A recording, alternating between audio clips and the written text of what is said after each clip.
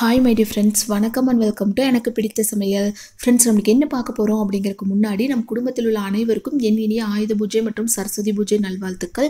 இந்த டைமில் வந்து பொரி கொஞ்சம் அதிகமாக வச்சிருப்பேன் இல்லைங்களா? அது வந்து அப்படியே சாப்பிடாம கொஞ்சம் டேஸ்ட்டை எப்படி மாற்றி சாப்பிட்லாம் அப்படிங்கிற வீடியோ இன்றைக்கி உங்கள் கூட ஷேர் பண்ண போகிறேங்க ஸோ வீடியோ ஃபுல்லாக பார்த்துட்டு உங்களுக்கு யூஸ்ஃபுல்லாக இருக்குன்னு நினச்சிங்க அப்படின்னா மறக்காமல் உங்கள் ஃபேமிலி அண்ட் ஃப்ரெண்ட்ஸோட நிறைய ஷேர் பண்ணுங்கள் இந்த வீடியோ பிடிச்சது அப்படின்னா மறக்காமல் லைக் பண்ணுங்கள் இன்னும் நம்ம சேனல் நிறைய பேர் சப்ஸ்கிரைப் பண்ணால் பார்த்துட்டு இருக்கீங்க. ஸோ சப்ஸ்கிரைப் பண்ணிவிட்டு பக்கத்தில் இருக்கிற பெல் ஐக்கானில் ஆல்கிற ஆப்ஷன் கிளிக் பண்ணி வச்சிட்டிங்க அப்படின்னா நான் எப்பப்போ வீடியோஸ் போட்டாலும் மொபைலுக்கு ஈஸியாக நோட்டிஃபிகேஷன் வரும். நம்ம சேனல்ஸ் வர வீடியோஸ் எல்லாம் இந்த தாராளமாக பார்த்து தெரிஞ்சுக்கலாம். இப்போ வாங்க வீடியோக்குள்ளே போகலாம் இப்போ ஒரு மிக்சிங் போல் ஒரு ரெண்டு கப் அளவுக்கு நான் பொரி உள்ளே சேர்த்துக்கிறேங்க. உங்களுக்கு வந்து அதிகமாக வேணும் அப்படின்னா இன்னும் கொஞ்சம் கூட சேர்த்துக்கலாம். பாருங்கள் பொரி ஃபுல்லாக உள்ளே சேர்த்தாச்சு. அடுத்தது இதில் கொஞ்சமாக வேர்க்கடலை சேர்த்துக்கலாம்.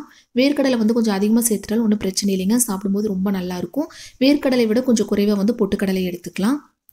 அடுத்தது வந்து ஒரு பெரிய வெங்காயத்தை நல்லா குட்டி குட்டியாக கட் பண்ணி உள்ளே சேர்த்துக்கலாங்க. எவ்வளோ குட்டியாக கட் பண்ண முடியுமோ அந்தளவு குட்டி குட்டியாக கட் பண்ணி உள்ளே சேர்த்துக்கோங்க.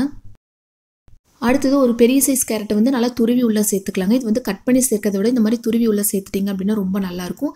சின்ன சைஸ் தக்காளியை அந்த மேல் தோல் இருக்குது இல்லைங்களா அதை மட்டும் கட் பண்ணி சேர்த்துக்கலாங்க. அந்த உள்ளே இருக்கிற அந்த விதை எல்லாமே தேவையில்லை. இப்போ அதெல்லாமே சேர்த்தாச்சு. இப்போ இதில் வந்து கொஞ்சமாக காராபூந்தி சேர்த்துக்கலாங்க. இது எப்படி வீட்டிலே ஈஸியாக டக்குனு ரெடி பண்ணலாம் அப்படிங்கிற வீடியோ நம்ம சேனல் நான் போஸ்ட் பண்ணியிருக்கேன்.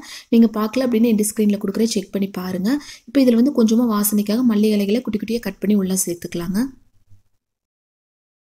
பொரியில் வந்து ஆல்ரெடி உப்பு இருக்கு இல்லைங்களா? அதனால் உப்போட அளவு வந்து ரொம்ப கம்மியாக சேர்த்துக்கலாங்க. நான் இந்த அளவுக்கு உப்பு எடுத்திருக்கேன். அடுத்தது வந்து கொஞ்சமாக மிளகாய்த்தூள் சேர்த்துக்கலாம். உங்களுக்கு காரம் அதிகமாக பிடிக்கும் அப்படின்னா இன்னும் கொஞ்சம் கூட மிளகாய்த்தூள் சேர்த்துக்கலாங்க. லாஸ்ட்டாக வந்து இதில் தேங்காய் எண்ணெய் சேர்த்துக்கலாங்க. தேங்காய் எண்ணெய் சேர்க்கும்போது டேஸ்ட் வேறு லெவலாக இருக்கும். கண்டிப்பாக ட்ரை பண்ணி பாருங்கள் இதில் கொஞ்சமாக தேங்காய் எண்ணெய் சேர்த்துட்டு நல்லா மிக்ஸ் பண்ணி விட்டுறலாங்க. அவ்வளோதான் நம்ம வந்து பொரி அப்படியே சாப்பிட்றத விட இந்த மாதிரி எல்லாமே சேர்த்து சாப்பிட்டு பாருங்கள் ரொம்ப டேஸ்ட் நல்லா இருக்குங்க. இப்போ இதெல்லாமே நல்லா மிக்ஸ் பண்ணி எடுத்துக்கலாம்.